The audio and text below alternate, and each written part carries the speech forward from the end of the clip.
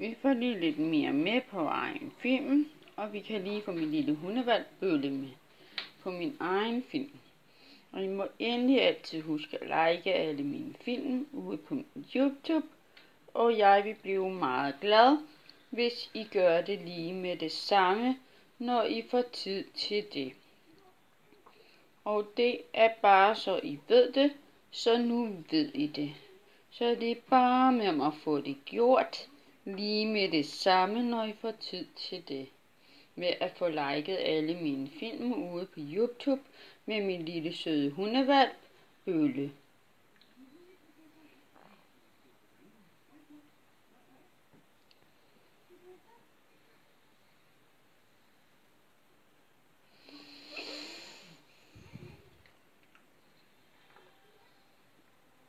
Lille søde